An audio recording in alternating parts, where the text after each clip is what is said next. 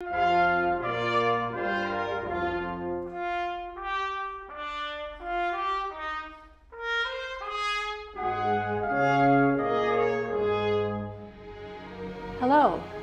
I'm Betsy Stone, and uh, welcome to Pictures at an Exhibition. This is a program uh, involving short 15-minute interviews with artists who are showing work in Amherst. And today we are at Hope and Feathers Gallery with Laura Radwell, who is a landscape painter uh, in an abstract style. Hope and Feathers is located on Main Street in Amherst and is also a frame shop. So um, it focuses on local artists' work, both emerging and established local artists, and is very involved in the community. I'd like to introduce Laura Radwell. Welcome, Laura, uh, to Pictures at an Exhibition, and uh, we are at Hope and, and Feathers. Uh, this, this one-person exhibit is small and it's a little jewel. Uh, I love the colors of it. I love the landscapes. And I'm very curious about your trajectory as an artist. Uh, how have you gotten to this point? Where did you start in, in your art career? Well, I will try to compress this into a very brief answer. I, as a young person, thought I wanted to be an artist, but my vision was not sufficiently clear, and my parents wanted me to follow another path. So what happened is that all throughout my earlier adulthood, everything that I did, I gravitated toward incorporating a visual component of some sort. Mm. And in the 1980s, I started a business in communication and marketing, and I hired designers to work with to service the clients. It became so apparent to me that what I should be doing was doing the design because I could get to work with the visual part of me and have some form of visual expression. So one thing led to another, and for close to 25 years I did design, uh, mostly two-dimensional, but sometimes um, other types of installations. And fast forward about 20 years, I became um, dissatisfied with the fact that I couldn't express myself visually in a, in a larger way using just the components that I had been used using in my design work. And I started to do some photographic work with photographs that I took. And because I knew the design software, I created these digital abstracts using real world images but because I could layer them, I could transform them and create interesting textures and forms and shape. And I did that for the last several years while I was still running my business. But it was always clear to me in the back of my mind that I had to paint. I knew that. That was a, a, a long-held dream. So in 2014, I started to wind down the business and I started painting. And I was painting very small, little tentative landscapes. And here I am, and I've gone through several stages in the last five years in terms of the focus of my work. And I've arrived here now in this body of work called Embodied Landscapes. Great, let's talk about one of these pieces. I've seen this piece on postcards and, and uh, promotion, um, and I love this piece. I see why it was chosen. It's just got, it's got it all. It's got uh, uh, I can see the sense of landscape in the horizontal line, but you've, you know, you've exploded it. It's, it's got wonderful color and expression. Um, how, how do you uh, conceptualize a piece like this? Where does this start for you?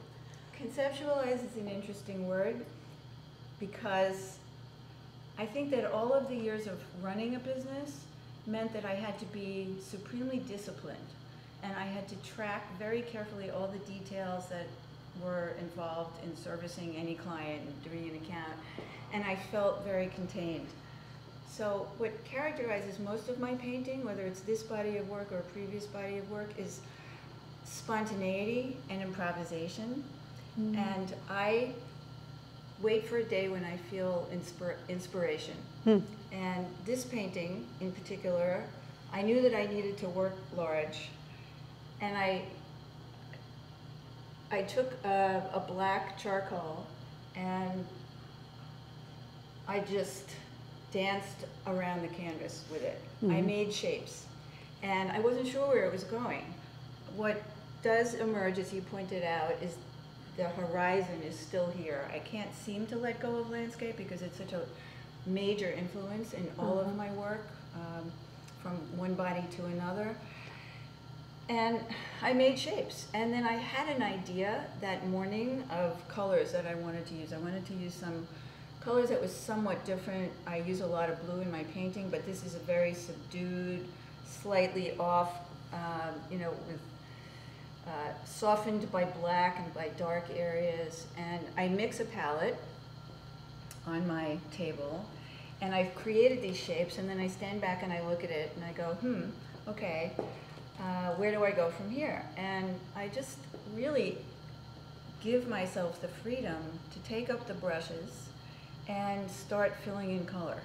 Sounds like fun. It is. I wanna do it. It is. It is. It's it's very playful Uh-huh. and it's very immediate. And I think um, I'm very conscious about not wanting to get hung up in the plan was this and I'm Mhm. supposed to do that.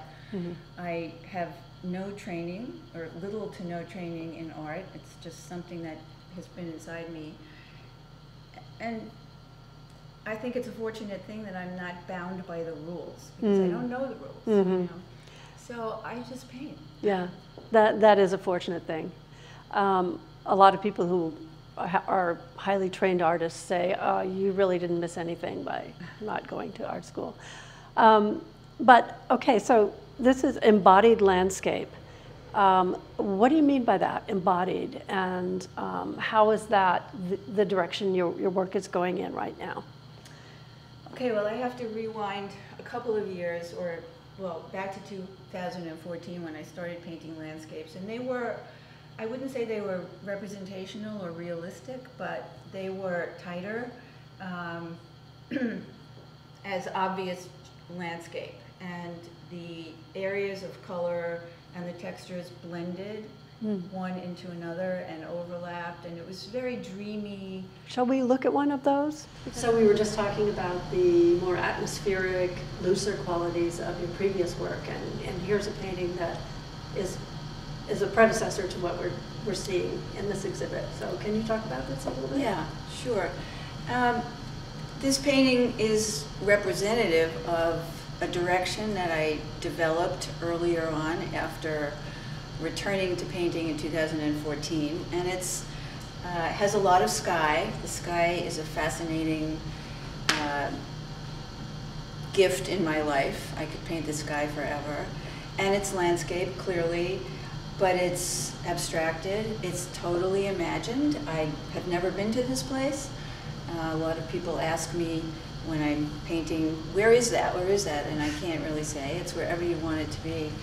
Um, and it also shows how everything is softly blended and I use markings on the surface of the paintings because it uh, is a way of communicating my spont spontaneity and my impulsiveness while I'm, while I'm painting.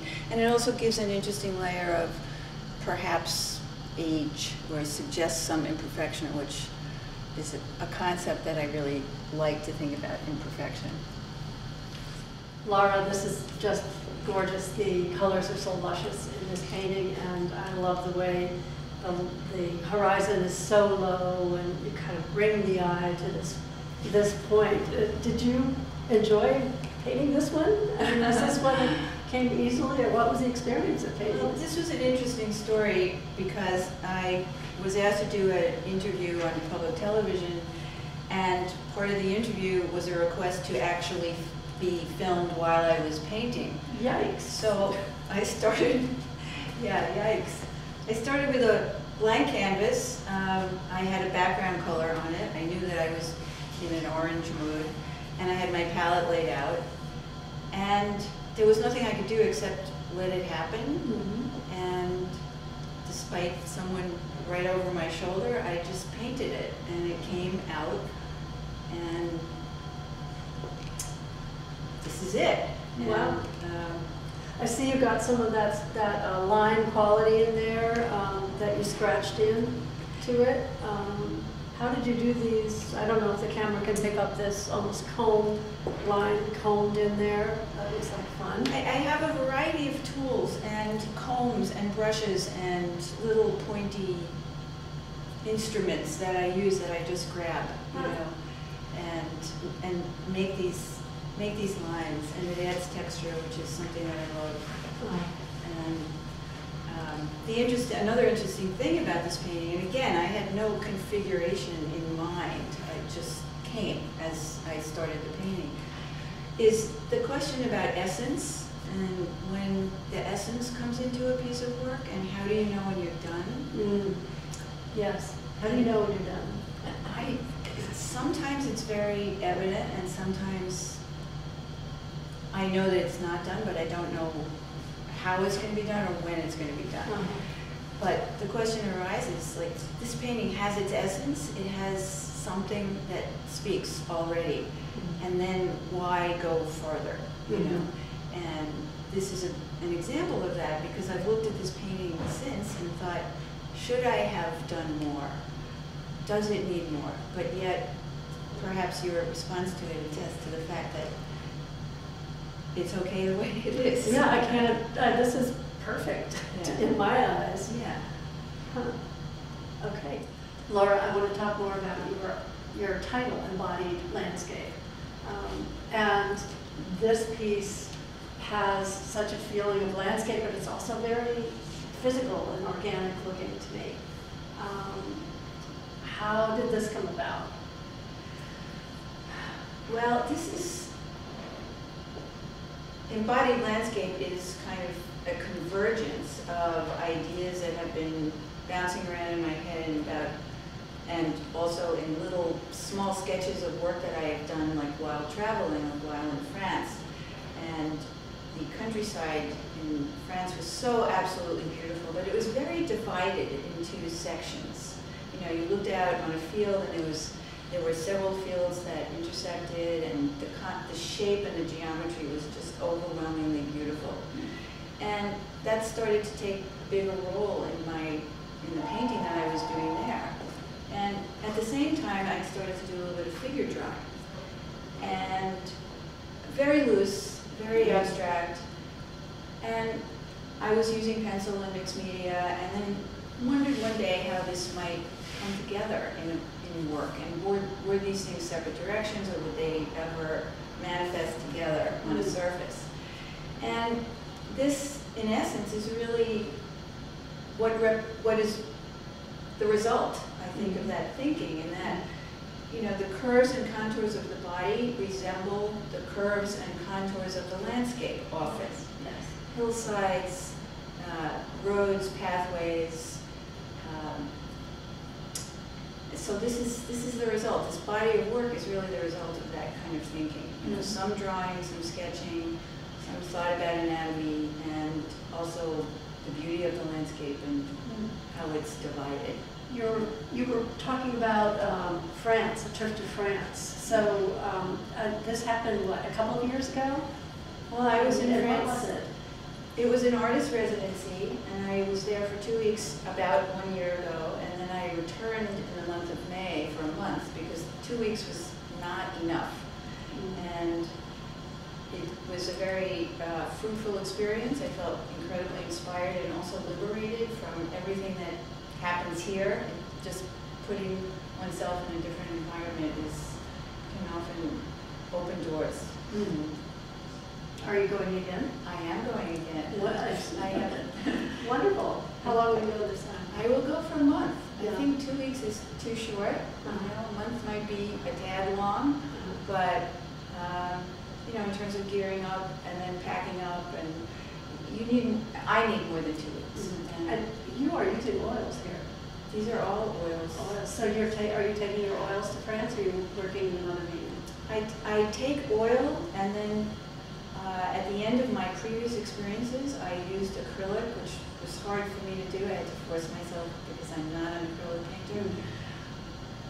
And I may do that again, or I may change my medium and find other products that help me uh, dry the paintings more quickly. But Mhm. you know, I'll see. And maybe I'll do some something entirely different. I have no idea. Laura, this is an interesting part of your series. Um, this, you know, predominant color is blue, cool colors. Uh, Were you in a blue phase, like Picasso went through his blue phase?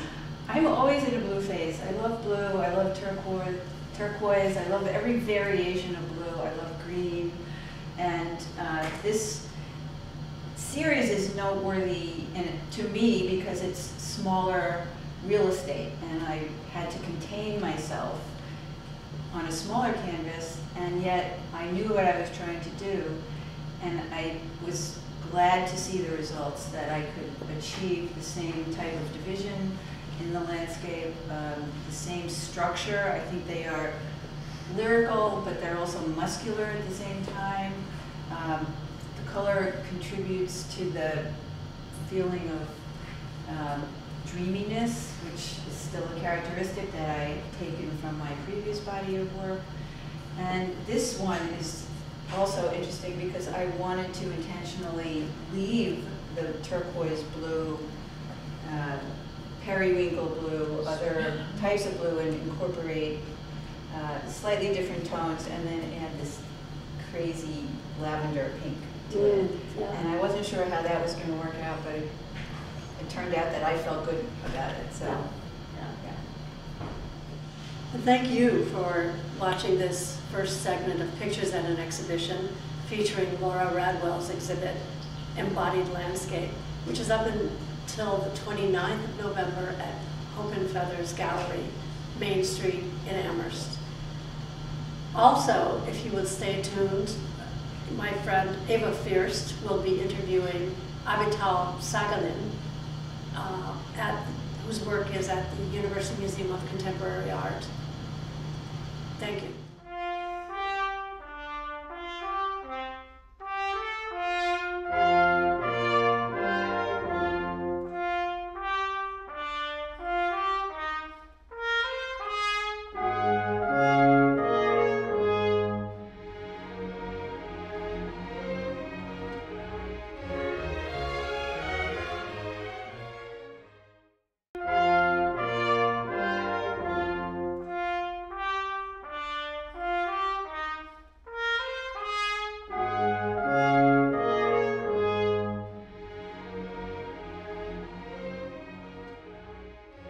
Welcome back. I'm Eva Fierst, and I'm standing here in the exhibition space of the Museum of Contemporary Art at UMass. Today we are going to interview Avital Sagalyn, who has, uh, who has had work that has spanned over a long time, about 50 or 60 years. The museum here at UMass used to be the University Gallery, and it started out about 40 years ago.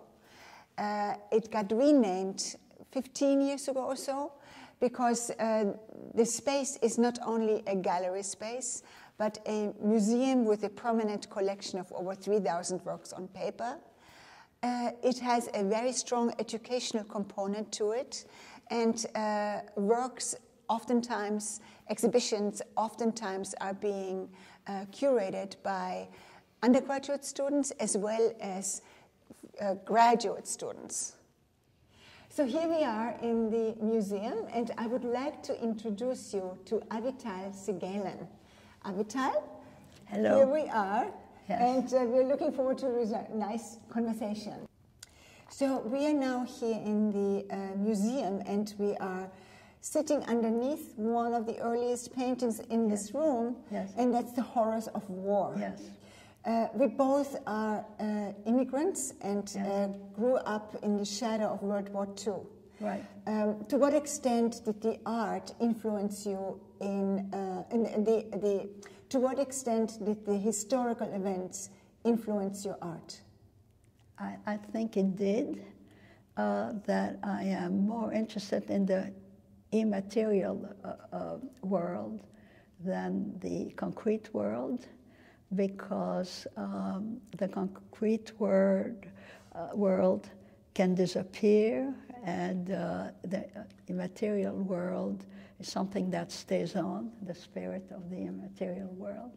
I don't know if it's a good answer, but that's. I think it's yeah. a perfectly wonderful answer, and I think that is something that um, that is uh, true for everybody. I think to um, to focus on the immaterial world Yes. because the material is oftentimes uh, just too. It draws us into the wrong direction in some ways, Yes. especially in this uh, early 21st century.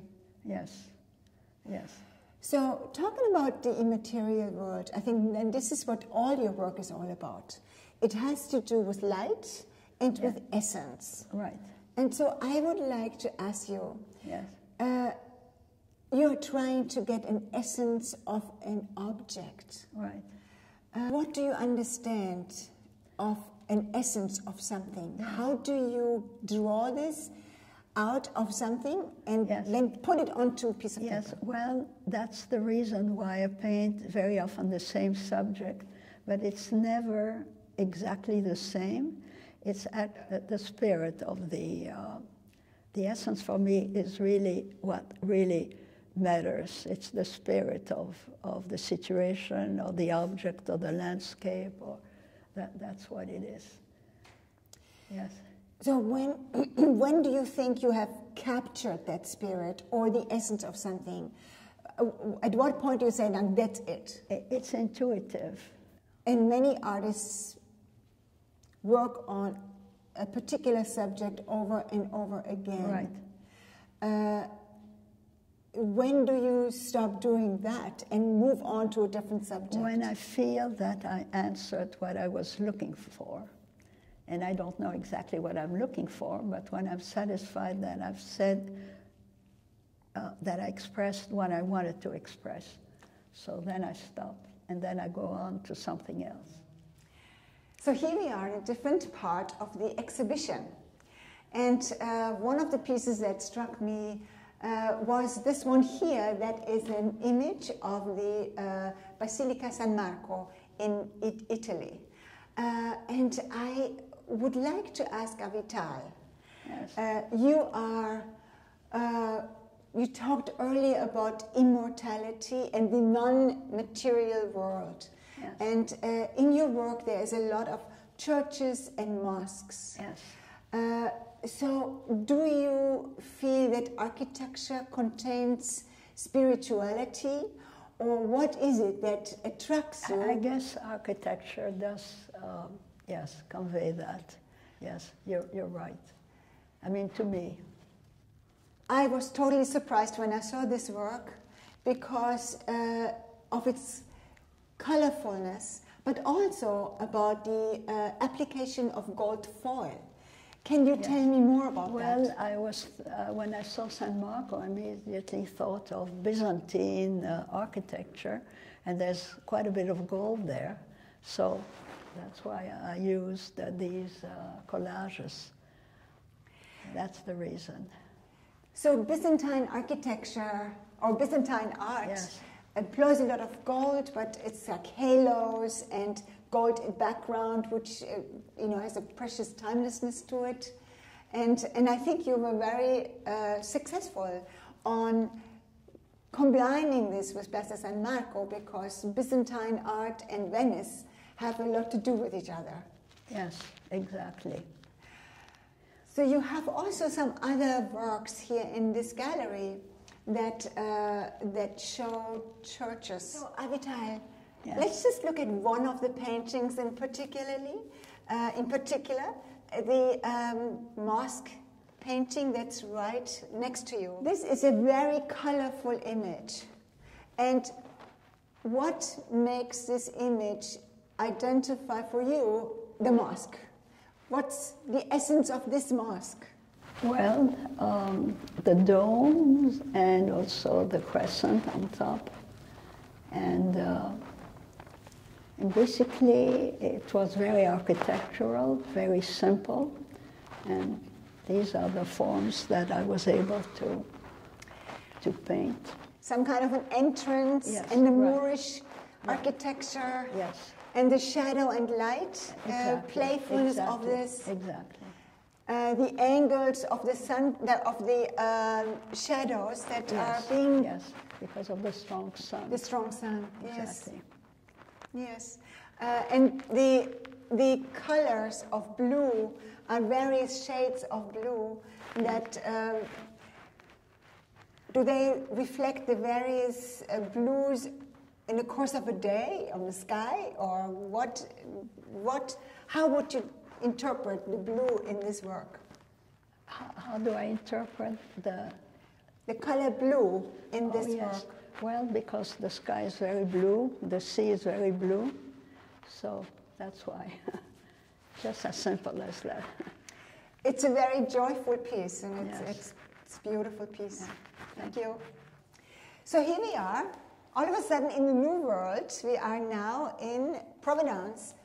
We are now in Provincetown, Massachusetts. And the work between Avital and me is, this is, I think, a significant work. And Avital, tell us a little bit more about this particular work and what it did for your career. Oh, yes. Well, I, I got a Fulbright because of that drawing. I had a painting of that, but um, I sold it. Uh, one of the few things, in fact, the teacher wanted to buy it while I was painting it, not this, but um, the painting of this. And I said, I can't uh, give it to you or, or even uh, sell it to you because I don't know how it will end. So, and I could have used the money, you know, art students. Of course. others, yeah. Yes. But uh, no, but this, um, no, I consider this my best drawing. And I did it when I was still at Cooper Union, uh, when I was still in college. And um, I uh, stayed in a shack, in a sh- uh, it's a fisherman's shack, which was right on the water at that time. And uh, now, of course, Provincetown is full of bars and No more shacks. No, no more shack. And so I was able to, to draw this. So I'm very critical of my work, but I think this one, I think that's good, pretty good. Yes. So you have various other motifs of the ocean and the coast in Yes. Maine and the boats. Right. Uh, what made you uh, choose those as subjects? Well, because I was in, uh, well, first I was in Provincetown, and, um, and I loved to look at the sea, the way it changed colors during the day and evening. But um, uh, what was the question again? What drew you to the coast and to make these works on water and the and the you know coastline? Well, I was just attracted. I just thought that uh, since the water changes all the time, and uh, and whatever belongs to the water, like boats, were very interesting to me. So that's why. So Avital, we are now standing in front of a work that has a lot of significance for you. Yes. And this was done in, it is titled Gordes, Right. which is a town in France. Can you tell us more about this? Well, it's a village, a, a mountain village. Historically, dates back to the 13th century. It was a place where uh, lived um, a shoemaker uh, who belonged to the Shoemaker Guild. And it, it- when, um, after Paris, in Paris, I painted uh, Notre Dame and it disappeared. Each time I was trying to get the immaterial quality, and finally I was painting, I was remove everything. I felt the stone was too, too heavy and it didn't really, I, I it didn't express what I tried to say, so I would always remove part of the painting. So at the end, I was painting white. I mean, and I thought, that's it, I'm not a painter anymore. And an art critic said, it's amazing that at my age, because I was very young at that time, I was in my early 20s, right after Cooper Union, that I, I uh, came to the conclusion that everything is, is an overstatement. So then I went to Gordes. I was invited by my cousins. He was a professor of sociology in Paris at the Sorbonne. And he was invited, and so was I, by Chagall, who was his friend, who bought the house there for very little money. At the time, it was something like 100 francs or something. Uh, and he was told by another painter uh, that uh, it's a great place to hide during the war. And so, um, and this was right after the war, so we went there. And there the light was very striking, very strong, just the opposite of what I had experienced in Paris, especially at Notre Dame, which disappeared all the time. And this was all, those, uh, so all I could see was uh, the, the torn down houses without roofs and without the roof because young people had to remove the roof uh, so that they wouldn't pay any taxes. And young people didn't want to stay in the village after the war, they wanted to go to town. So the place was totally abandoned, except for a couple of artists who found it and who told Chagall, you know, if you want to hide during the war, this is a good place. So when I went there, there was already a couple of art critics and a couple of other artists who, who were there. And so we stayed in the only place that had um, water. It was the schoolhouse. Everybody else had to go to the fountain. And I, so I came without anything, just uh, black pencils, because since I was paying nothingness, I felt I, I won't be able to paint. But this inspired me because everything was in the light or in the shadow and very, all the forms were right there. So that's why I did it like that. So it was just the blue of the sky, black for uh, shadows, and white the dest destroyed houses. So. So Avital, you just mentioned Notre Dame, right. and how you were. Uh, you know, trying to reduce it because you didn't like the stone and so on. And here we are now yeah. in front of a watercolor. Right. And that is an image of Notre Dame. Right. I really like this work because it is so fresh and so, um, you know, reduced in some yes. ways. You see still the towers of Notre Dame. You don't have the rosette. You have. She takes Avital takes everything away from this and looks at the essence. Right. right. Yeah? Yes. Uh, yes, I, well, I was sort of gravitated towards Notre Dame because I found it also in a fantastic setting, uh, being hugged by the two arms of the Seine and the two bridges. And um, and I thought it, it, absolutely, and I liked the front. The, the, the, the sides are more interesting with the flying buttresses, but I wanted the simplicity of the front. So that's why I painted it that way. And uh, yes, and then I, I sort of gravitated there every single day and I spent hours, and I walked up along the Seine and back, and, uh, and I was totally mesmerized. And then, uh, uh, what happened? And then I started to remove, everything was too materialistic, too much the stone. So I started to remove, not this one, but uh, some of my other drawings or paintings, because I felt it's, I'm trying to get the spirit, and it's too much the stone, so I removed a, a lot. And I finally thought I'm not a painter anymore because I come back to the white canvas. And then I was really very distraught because what's the matter with me? See, so, I think you were you were about 30 years ahead of your time because that notion yes. is a minimalist notion yes. that got really looked at much later in time. Well, yeah. So I decided I, and I have enough of it, and I bought a bouquet of flowers. And I came to my hotel room where I lived, and these were, I forgot, they're very colorful uh, colors, red with black inside. I've, I forgot what it's called. And uh, then somebody came to visit me, uh, my cousin, And I said, you know, for once I didn't paint Notre Dame, I painted uh, flowers. And she said, where is it? I said, on my easel. When I went to the easel, I, I was shocked because the flowers were gone and it was the rose window. The flowers, you know, the violet and red and black lines, very strong. And I didn't even know that I had painted that. That was really disturbing that I didn't know what I had painted. I had sort of a mystic moment. I Yes. was totally, I said, oh, again.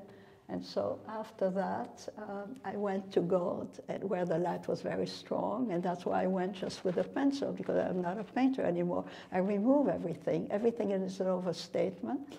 And then, of course, it influenced me that I thought it was beautiful in what it was.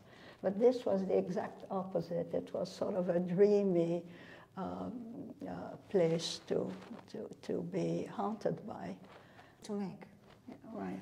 Yeah, thank you. Avital, thank you Well, for thank you so being much. here with me Well, thank you. and, and being open to all these questions. Yeah, thank, you so, much for Yes. the wonderful questions. I hope I did okay. Thank you. So that concludes today's session and interview, and I will see you in December.